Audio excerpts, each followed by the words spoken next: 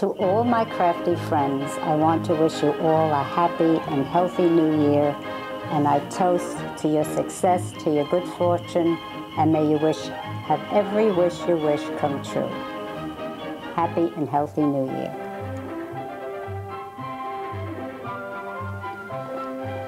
And now, back to crafts. I'm going to show you some Christmas items. It's pretty good stuff.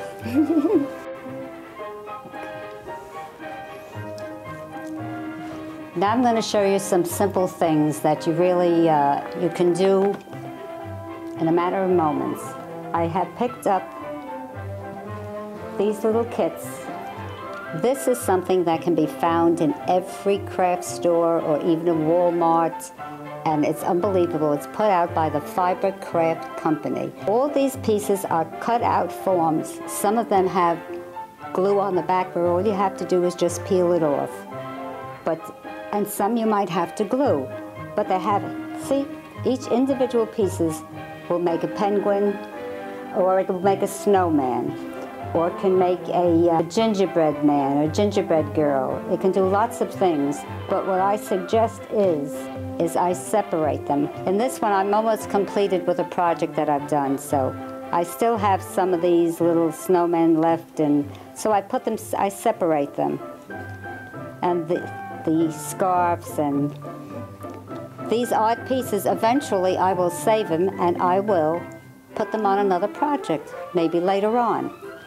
But right now, I haven't gotten into this project yet, but this will be making snowmen. So what I have done is, I've separated the scarves, I've separated the hats, I've separated each of the things, so therefore it's so much easier to put it together because you just pick out one at a time of what you need.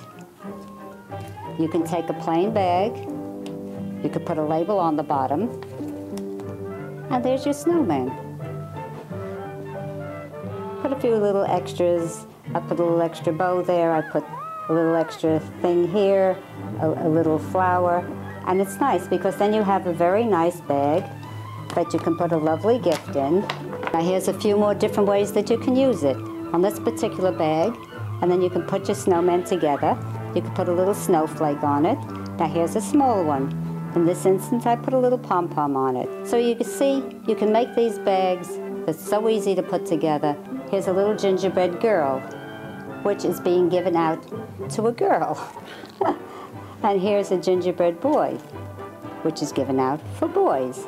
So you see, you can have so much fun with it, just like you do Easter time, coloring eggs with the children. You can do these projects with them as well.